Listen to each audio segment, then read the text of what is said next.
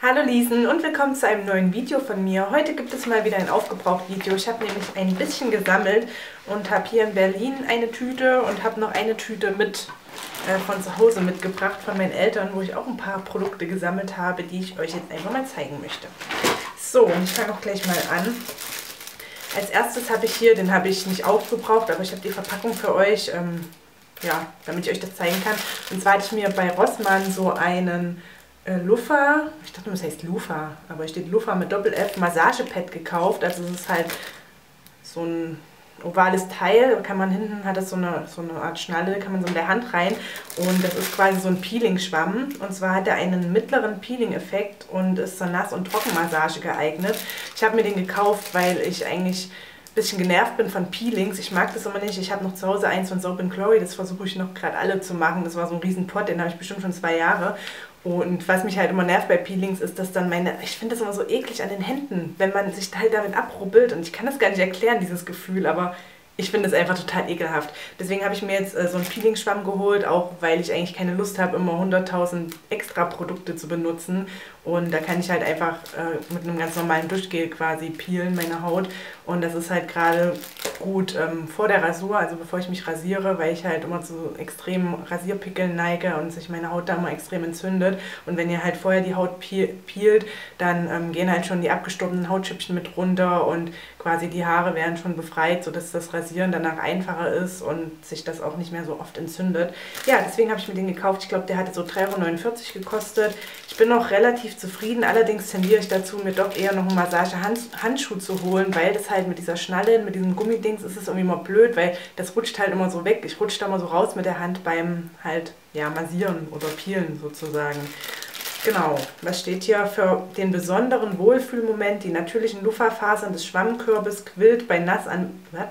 Ach so, die natürliche Luftfaser des Schwammkörpers quillt bei Nassanwendung auf, wird weich und geschmeidig und sorgt für eine angenehme Massage.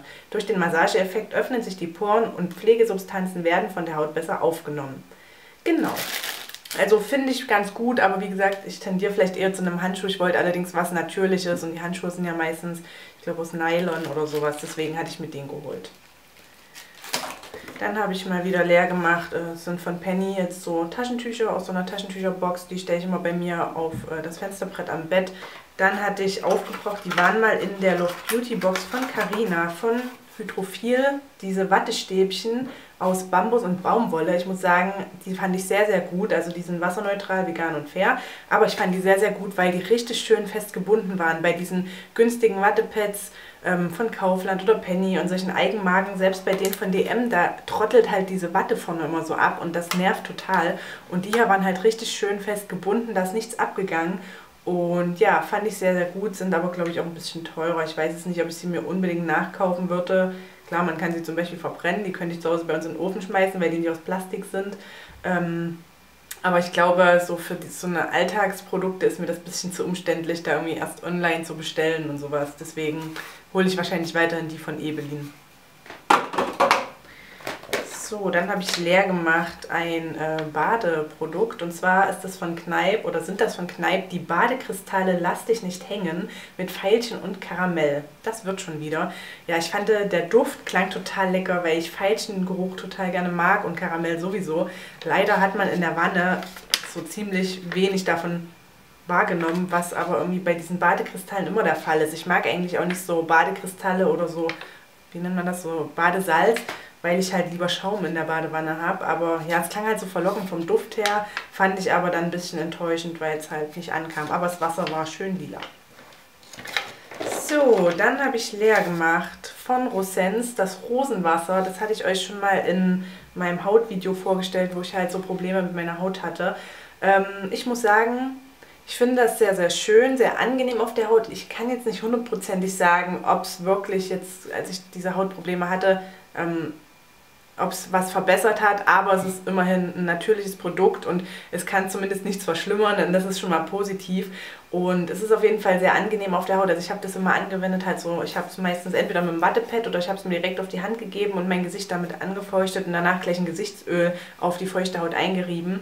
Und äh, das ist auf jeden Fall sehr schön. Ich mag den Duft sehr gerne. Das ist jetzt übrigens dieses Gül Suyu Rosenwasser. Es gibt noch verschiedene andere bei Amazon. Es gibt auch welche aus Bulgarien, das kommt aus der Türkei. Und ja, ich werde mir das auf jeden Fall wieder kaufen, weil ich finde, dass das halt eine wirklich schöne, natürliche Alternative zu, zu, zu herkömmlichen Gesichtswassern ist, wo halt wirklich auch nichts anderes drin ist als Rosen und Wasser. Von daher kann ich es auf jeden Fall weiterempfehlen. Gerade für empfindliche und sensible Haut ist das wirklich sehr, sehr gut. Ja, so, was haben wir noch? Dann habe ich Räucherstäbchen aufgebraucht. Das sind die Nackt Jumper. Da muss ich mir mal bei Amazon, habe ich gesehen, dass das, da gibt es halt gleich so ein 10er-Pack oder so. Recht günstig. Und da werde ich mir die nachbestellen. Ich finde, also bisher hatte ich die goldenen, die roten und die blauen. Und die blauen fand ich bisher am besten. Die roten mag ich auch ganz gerne. Die goldenen finde ich nicht so geil, muss ich sagen. Die riechen für mich immer so leicht nach so Schweiß oder so, keine Ahnung. Also die haben für mich so einen komischen Unterton. Aber die blauen sind ganz toll. Ist gar nicht so wenig, was ich aufgebraucht habe, sehe ich gerade. Hier habe ich wieder eine äh, Klinik BB Cream geleert. Das ist allerdings so eine kleine Probengröße. Da hatte ich mir mal mehrere bei Ebay ersteigert, weil halt die große Größe mit 30 Milliliter kostet irgendwie 30 Euro. Und für die drei kleinen mit 10 Milliliter hatte ich bei Ebay, glaube ich, 11 Euro bezahlt. Deswegen, ja, das ist so eine kleine 10 Milliliter. Ich brauche eigentlich da nichts mehr weiter dazu zu sagen. Ich finde die immer noch ganz toll. Ich habe die übrigens immer in der Farbe Light. Dann habe ich auch eine Mini-Mascara leer gemacht oder ja, halbwegs leer. Also es ist schon leer, ist halt jetzt so ein bisschen trocken. Man könnte sie noch verwenden, aber mir krümelt das jetzt so sehr.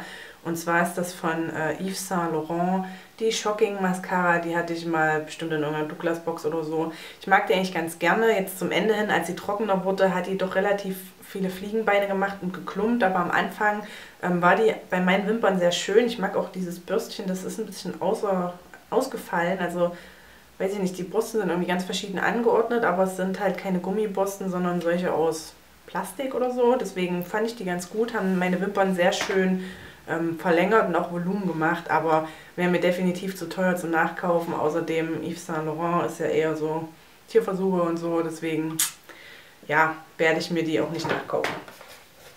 So, dann habe ich hier einen Rituals Duschschaum. Der war auch mal in irgendeiner Box. Das war White Lotus und Green Tea. Den Duft finde ich sehr angenehm. Der riecht so ganz, ganz cremig. Ganz cremig und halt so zart und sanft und ein bisschen blumig. Und ja, finde ich ganz schön, aber den Yogi Flow, den mag ich lieber, weil der halt fruchtiger riecht. Ich finde einfach die Konsistenz von diesen Rituals Duschschäumen immer total cool, weil das halt echt so, du machst sie so auf die Haut und dann reibst du das und es wird so ein weicher, fester Schaum. Also ich finde, das ist nicht vergleichbar mit diesen Schäumen, die es halt ähm, bei Rossmann und so gibt, weil da ist halt in diesem Schaum immer ganz, ganz viel Luft drin. Also das sind so richtig große Bläschen, der fällt auch relativ schnell zusammen und das ist halt so ein richtig cremiger, fester Schaum und ja, finde ich cool. Ähm, aber so an sich sind mir die Duschschäume eigentlich auch zu teuer zum Nachkaufen und ja, aber es ist immer mal nett, wenn sowas irgendwo drin ist. So, dann habe ich noch was von Rituals leer gemacht. Oh, hier fehlt mir das Dings. Ähm, das war, glaube ich, auch mal in der Douglas Box. Und zwar war das der Good Luck Scrub, also ein Körperpeeling. Fand ich sehr, sehr schön, sehr angenehm. Vor allen Dingen, weil es eben nur aus Zucker bestand, also aus Zucker und Öl. Die Haut hat sich danach unglaublich gepflegt angefühlt. Also die natürlichen Öle haben sich halt direkt auf die Haut gelegt und das fand ich echt toll. Ähm, ja, Inhaltsstoffe sind auch ziemlich gut, wenn ich das mal hier so überblicke. Also keine also nur natürliche Öle und wie gesagt Zucker, was mir bei Peeling halt auch sehr wichtig ist, dieses Plastikpeeling, ich hasse das. Also erstens ist es Umweltverschmutzung und zweitens lösen sich halt die Peelingkörner auf der Haut nicht auf und sind dann total kratzig. Und ja, bei dem Zuckerpeeling lösen sich natürlich die Zuckerkörner auf. Aber alles in allem kann man das auch selber machen mit einem hochwertigen natürlichen Öl und ein bisschen Zucker. Also da braucht man nicht so ein teures Produkt kaufen. Da gebt ihr noch ein, zwei Tropfen von einem natürlichen Duftöl mit dazu und dann habt ihr ein richtig tolles Peeling. Und ja, wie gesagt, ich habe mir den Peeling-Handschuh gekauft, weil ich keine Lust habe, immer 100 Millionen Produkte zu haben. So, dann habe ich eine Handcreme leer gemacht. Die war von Fix und Rouge. Ich glaube, die war mal irgendwann in der Glossy Box. Und zwar Vanilla Pistachio, also Vanille Pistazie. Ich fand die Konsistenz total seltsam. Also so eine Handcreme mit so einer komischen Konsistenz hatte ich bisher noch nie. Man hat die auf die Haut gemacht und dann hat sich das angefühlt wie Wasser. Also voll komisch. Und ich, man hatte irgendwie auch mal das Gefühl, dass sie überhaupt nicht pflegt, also weil die sich so total unreichhaltig angefühlt hat, dadurch, dass das halt so wässrig war. Ich weiß nicht, das war echt seltsam. Falls ihr die auch mal in der Box hattet und benutzt habt, dann schreibt mir mal, ob ihr das auch so empfunden habt. Der Duft war allerdings ganz toll, also den fand ich gut so, die Mischung aus Pistazie und Vanille. So, das habe ich noch nicht leer gemacht, aber ich habe hier die Umverpackung und zwar hatte ich mir letztes Mal gekauft Oropax Classic. Das sind äh, die aus Wachs Da ist noch so Baumwolle äh, außenrum, die muss man abmachen, weil es hier in Berlin immer so laut ist. Also ich höre hier alles. Wenn mein Mitbewohner nebenan, wenn das Handy vibriert, das klingt als liegt jetzt auf meinem Schreibtisch, dann über mir sind so, ist so ein übelst trampelndes Kind, wirklich, wenn das trampelt, es war heute früh wieder, heute ist Sonntag und Sonntag früh, oh, da kriege ich eine Macke. Das trampelt so laut, dass hier wirklich meine Regale vibrieren und dass ich das Gefühl habe, die ganze Decke bricht gleich ein.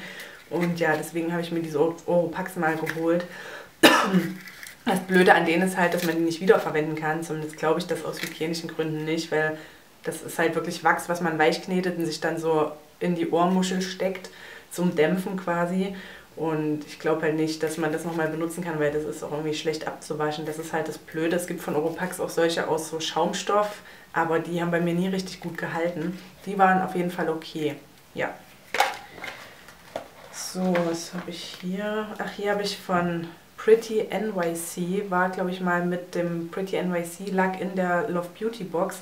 Das war so ein äh, Nagellack-Entfernungstuch auf Sojaölbasis war okay, aber ich finde diesen Geruch ober, ober ekelhaft. Es wird so eklig gerochen, würde ich mir nie im Leben nachkaufen. Ähm, dann habe ich von Kneipp auch noch so ein Pröbchen leer gemacht. Und zwar ähm, ist das die 24 Stunden Gesichtscreme, glättende Intensivpflege. Fand ich auf jeden Fall gut, war sehr reichhaltig. Und mal wieder leer gemacht äh, von Model Co. Das More Brows Augenbrauengel. Finde ich immer noch ganz toll. Und es ist immer eine Qual, das irgendwo nachzukaufen, weil es es irgendwie nirgendwo gibt. Also da muss man immer Glück haben bei Kleiderkreisel oder Ebay. Oder sich eben mit dem Tube von Essence begnügen. Dann habe ich hier von Ayiko, Ayeko war glaube ich auch mal in der Douglas oder Glossy Box, ein Liquid Eyeliner. Ja, wie ihr seht, bin ich heute mal wieder ein bisschen mehr geschminkt, obwohl ich ja letztens erst im Video gesagt habe, dass ich keine Lust mehr habe, aber heute ist halt Sonntag und ich dachte mir, ach komm, schminkst du dich mal, weil es gibt halt auch noch einige Produkte, die ich endlich mal leer machen will, unter anderem so ein paar Foundations und so. Und deswegen dachte ich mir, na komm, Hausleute mache ich auf den Putz. Und da habe ich halt den Eyeliner verwendet, allerdings ist es total nervig, das ist halt so ein Filz, so eine Filzmine hat der. Und die Mine, also hier die Spitze, die malt halt nicht. Man muss den immer quer auflegen, richtig aufdrücken, damit was rauskommt. Aber wenn man irgendwie feine Linien machen will, dann kommt hier nichts und das ist total ätzend. Deswegen kommt der jetzt weg. Ja, fand ich aber mal, am Anfang fand ich den ganz gut, aber wahrscheinlich steht der jetzt auch schon so lange, so dass die Spitze halt ein bisschen trocken geworden ist. So, das habe ich mal zugeschickt bekommen. Das war ein Mango-Shampoo von Phytodes. Wollte ich eigentlich meine Review drüber machen, aber da ich nicht weiß, wo man diese Marke kaufen kann, dann nirgendwo was dazu gefunden habe, habe ich nicht gemacht, weil das ist ja für euch sinnlos, wenn ich euch da was vorerzähle von irgendeinem Produkt, was es dann nirgendwo gibt. Von daher, ja, kurze Einschätzung jetzt dazu. War okay, hat mich aber nicht vom Hocker gerissen. Der Duft ist sehr, sehr intensiv. Also es war mir eigentlich fast schon zu extrem.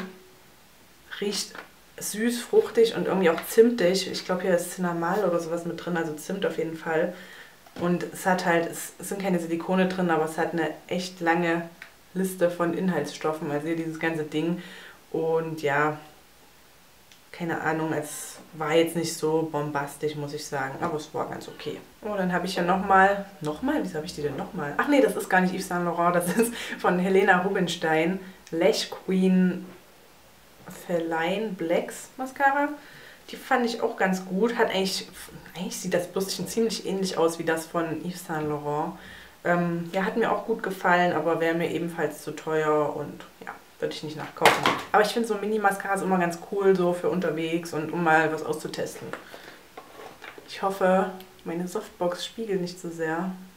Meine Brille sieht auch aus. Ich kann euch kaum erkennen. Beziehungsweise kann ich mich kaum erkennen, weil die Brille so schmutzig ist. So, noch eine Mini-Mascara und zwar eine von Clinique. Das ist die High Impact Mascara. Die finde ich ziemlich gut. Die hatte ich schon öfter mal, dieses Pröbchen. Hier ist jetzt schon das Bürstchen ganz schön eingematscht. Ähm, benutze ich eigentlich immer wieder ganz gerne, wenn ich die mal irgendwie da, irgendwo dabei habe. Klar, Klinik ist jetzt auch nicht so die Supermarke, was Tierversuche und so angeht, aber ja, ist ein ganz nettes Produkt und kann man immer mal benutzen, wenn es gerade irgendwo mal in der Box war oder sonst wo. Dann habe ich hier von Love Me Green, die Marke mag ich ganz gerne, ähm, ein Peeling leer gemacht. Das war ein Gesichtspeeling, Energizing Face Peeling war das, genau. Gesichtspeeling mit organischem Orangenöl und Argansamenpuder. Die beruhigende und revitalisierende Wirkung von Bio-Arganöl unterstützt die Zellerneuerung der Haut. Fand ich okay. Das war allerdings mehr wie so ein, wie so ein Gel, wo so kleine Peeling-Partikel drin waren. Also von mir aus hätte da ein bisschen mehr Peeling drin sein können. Es war aber sehr, sehr, sehr ergiebig. Also ich habe echt ewig gebraucht, bis ich diese 30 Milliliter Tube aufgebraucht habe. Ja, also war okay, Gesicht hat nicht gespannt, war ein schönes Produkt und ja, wenn ihr ein Peeling sucht, könnt ihr euch das ja mal angucken. Ist Eco-zertifiziert, also Organic, Bio und ja, finde ich ganz gut. So, dann kommt jetzt weg meine Kaufmanns Kindercreme-Dose. Hier ist zwar noch ein bisschen was drin, aber das ist jetzt mittlerweile auch schon leicht keimig. Also ich weiß nicht, die habe ich jetzt auch schon so lange offen. Und ja, für die Lippen benutze ich die ja sowieso nicht mehr, weil halt der Hauptbestandteil ähm, Petrolatum ist, also Vaseline. Und Vaseline besteht ja aus Erdöl. Deswegen, ähm, ja, benutze ich die nicht mehr. Äh, ja, was kann ich noch dazu sagen? Eigentlich nichts weiter. Ich fand die früher ganz okay, aber man merkt es halt dadurch, man muss sie halt immer wieder auftragen und nachcremen. Und auch wenn ich die über Nacht drauf gemacht habe, bin ich morgens mit trockenen Lippen wieder aufgewacht, weil halt die Wirkstoffe nicht einziehen. Von daher, ja, kann man vielleicht für irgendwas benutzen, wo halt, weiß ich nicht, so bei Entzündungen, ich weiß nicht so genau, ob das, wobei, wenn so, ist ja auch für Babys, wenn man das so auf einen entzündeten Babypopo macht, wobei zum Trockenhalten nimmt man ja eher ähm, Penatencreme, weil die halt Hautstellen trocken hält, da ist die, glaube ich, auch nicht so gut geeignet. Keine Ahnung. Also ich fand die früher mal ganz gut, aber dadurch, dass ich halt mittlerweile auf Inhaltsstoffe achte, würde ich die jetzt nicht mehr unbedingt weiterempfehlen. So, was haben wir hier noch? Dann habe ich leer gemacht einen Badeschaum von TT Sept äh, Schaumwelten und zwar war das Traumstunde mit Acai-Beeren und Brombeerduft. Fand ich okay, aber nicht überragend und ich muss sagen, also ich war eigentlich immer ein sehr großer Tetisept-Anhänger so früher, aber wenn man sich mal die Inhaltsstoffe so durchliest, sind die auch nicht so bombastisch. Ne? Hier sind auch PEGs drin, Sodiumlauretsulfate gleich an zweiter Stelle. Und wenn man sich überlegt, dass man, also ich zumindest, ich liege schon mal gern an ein bis zwei Stunden in der Wanne. Wenn du da die ganze Zeit deine Haut in Sodiumlauretsulfaten halt Salbados quasi, ist das nicht so besonders gesund für die Haut. Und ja, Copolymer und ja, ich weiß nicht, dann greife ich doch lieber zu Kneipp, was halt noch ein bisschen natürlicher ist. Ach, hier habe ich übrigens noch von Phytodesk die passende Kur bzw. Maske. Das war eine Share-Maske für trockene und gefärbte Haare. Leer gemacht, hatte den gleichen Duft, auch so süßlich, bisschen fruchtig und zimtig. Fand ich ganz gut. Aber wie gesagt, ich habe keine Ahnung, wo man das nachkaufen kann. So, dann zwei Produkte, die ich wirklich sehr, sehr, sehr gerne mag. Dazu wollte ich eigentlich mal noch eine extra Review machen und zwar von Sean und Len. Kennt ihr vielleicht, haben einige bestimmt schon vorgestellt. Ich bin ein sehr großer Anhänger von dieser Firma, ähm, gerade was halt die Haarprodukte angeht. Und zwar ist das einmal das Shampoo für trockene Haar und der Conditioner für, trockene Haar, für trockenes Haar ohne Gedöns, parabenfrei, silikonfrei und vegan. Es sind gute Inhaltsstoffe drin. Ähm, warte mal, das war jetzt die, der Conditioner, genau. Und zwar sind hier nämlich Kokoklosid und Sodium-Kokosulfate drin, also auch keine Sodium-Lauretsulfate. Das heißt, eine milde Waschsubstanz, die die Kopfhaut nicht so krass angreift. Und ja, finde ich von den Inhaltsstoffen wirklich ganz gut, muss ich sagen. Mir gefällt auch die Philosophie von Sean und Len. Dein Haar will die extra Portion Feuchtigkeit ohne Gedöns. Ohne Parabene, Silikone, künstliche Duftstoffe. Wir brauchen kein Gedöns, denn was deine Haut berührt, wird ein Teil von dir. Ja, gibt noch ganz viele andere Produkte, die haben auch einen Online-Shop. Sean Len gibt es ähm, bei Rossmann. Ich weiß nicht, ob es die mittlerweile auch bei DM gibt. Ich habe es immer bei Rossmann gekauft. Eine Flasche kostet so um die 5 Euro. Ähm, die haben auch äh, so Badeschaum und Duschgele und so. Ich verlinke euch mal die Seite, wenn ich dran denke. Ansonsten googelt einfach mal, da kommt ihr auch auf die Seite. Ja, finde ich aber auf jeden Fall gut. Mir gefällt auch der Duft, der ist neutral, aber angenehm irgendwie, bisschen süßlich. Und ein bisschen, also Shampoo ist eher ein bisschen fruchtig süßig, der Conditioner eher so ein bisschen cremig süßig, süßlich. Meine Freundin, meine Veganerin Freundin meinte, sie erinnert das total an Soja Latte Macchiato. Kann ich jetzt nicht unbedingt bestätigen. Ich finde nicht, dass es nach Latte Macchiato riecht, aber es riecht eigentlich ganz lecker. Ja, also finde ich auf jeden Fall toll. Ich benutze eigentlich zurzeit nur entweder Sean und Len oder Organikum für die Haare. Ja. So, was haben wir noch? Ach, hier habe ich nochmal so ein ähm, Gesichtspeeling-Pad von For Your Beauty in Gebrauch. Das sind diese Gummipads mit so kleinen Noppen, die kann man auch zur Gesichtsmassage benutzen. Finde ich auch ganz cool. Kann man aber auch zum Pinsel reinigen nehmen. Dann habe ich leer gemacht, das fand ich ganz toll, von äh, Daba hieß die Marke, das war auch mal in der Love Beauty Box. Und zwar war das das White Raspberry Leaf Water, ähm, Naturkosmetik und Bio. Also ein ähm, Gesichtswasser aus ähm, Wildhimbeerblättern. Und hier war auch nichts anderes mit drin, meine ich. Wartet mal, stehen hier die Inhaltsstoffe? Genau, das war einfach nur quasi das Wasser, also ähm, Himbeerblätterwasser und Filtrate. Wurzeln, also die Wurzeln filtriert. Oh Gott, ich kann nicht reden. Ähm, fand ich auch sehr hochwertig in der Glasflasche mit Pumpsprüher. Fand ich total angenehm. Das hatte ich im Sommer benutzt, als ich im Urlaub an der Ostsee war. Da hatte ich nämlich einen mega fetten Sonnenbrand gehabt. Und es war, es tat einfach so gut, das dann aufs Gesicht zu sprühen und auf den Rücken und so. Und das war wirklich sehr, sehr schön. Und ich mochte das ganz gerne und würde das auf jeden Fall nochmal nachkaufen. Ist aber, glaube ich, teuer. Es kostet 12 Euro, meine ich. Bin mir aber gerade nicht ganz sicher. So, dann habe ich hier von Essence die Multi-Action Blackest Black Mascara. Die mögen ja sehr, sehr viele Leute. Ich fand sie okay, aber das Problem, was ich bei Essence Mascaras eigentlich immer habe, ist, dass sie krümeln nach drei, vier Stunden fangen die immer an zu krümeln. Und ich sehe das auch immer an meiner Nichte, die, benutzt, die ist zwölf und die benutzt, glaube ich, auch immer Essence. Und immer, wenn die dann bei, mal bei uns ist, sieht man das immer, weil sie hat dann immer Panda-Augen. Weil immer Essence-Mascaras anfangen zu bröckeln. Ich weiß nicht, woran das liegt, keine Ahnung, aber es krümelt halt. Und das finde ich echt doof, weil ansonsten macht die eigentlich ganz schöne Wimpern. Also sie gibt Volumen und Länge, aber das mit dem Krümeln ist echt ein bisschen nervig. Dann habe ich noch einen Badezusatz leer gemacht, auch von TTSEP. Das war das Meersalz Erkältungszeit Bad. Meersalz Erkältungszeit Bad? Ja, also Badekristalle. Mit Eukalyptus, Rosmarinöl und Kampfer. Hier sind die Inhaltsstoffe eigentlich auch ganz gut, bis halt auf Farbstoffe, aber hier sind wirklich drin Meersalz, Kampfer, Rosmarinöl, Eukalyptusöl, Zimtöl, ja, Polysorbate, Parfümwasser, Limone und halt zwei Farbstoffe. Aber Inhaltsstoffe sind hier eigentlich gut. Und ich muss sagen, das roch, riecht noch was? Ja. Riecht halt sehr nach Gesundbad, aber sehr, sehr angenehm. Ich mag diesen Gesundbad-Duft. Also bei uns hieß das immer Gesundbad. Früher, wenn ich krank war, hieß es immer so, du gehst jetzt in die Wanne und machst ein Gesundbad. Und danach wurde man so in seinen ähm, Bademantel eingekuschelt und dann wurde man ins Bett gesteckt nach dem Gesundbad. Genau. Und das erinnert mich immer so ein bisschen auch an meine Kindheit. Aber das fand ich sehr, sehr gut, war sehr angenehm, gut für die Atemwege. Also kann ich auf jeden Fall weiterempfehlen. Hier habe ich noch zwei was. Einmal von Luvos eine Maske. Könnt ihr sehen, so. Das war die Repair-Maske äh, mit Heilerde, Buchenknospenextrakt, Reiskeimöl, Sandonextrakt und Kameliensamenöl. Ähm, Genau, regenerierende Kräfte, Rötungen werden reduziert und bla bla bla. Fand ich sehr angenehm. Lupus ist auch Naturkosmetik, von daher kann ich die Masken eigentlich immer weiterempfehlen. Die brennen nicht auf der Haut, die sind sehr, sehr schön, das Hautgefühl danach ist gut. Ja, finde ich eigentlich immer ganz, ganz nett so zur Abwechslung. Aber ich bin eigentlich sehr, sehr maskenfaul. Ich mag auch lieber Peel-Off-Masken, weil man dann halt so ein Reinheitsgefühl auf dem Gesicht hat. Bei diesen Crememasken fühlt sich dann die Haut immer so klitschig an und das mag ich nicht.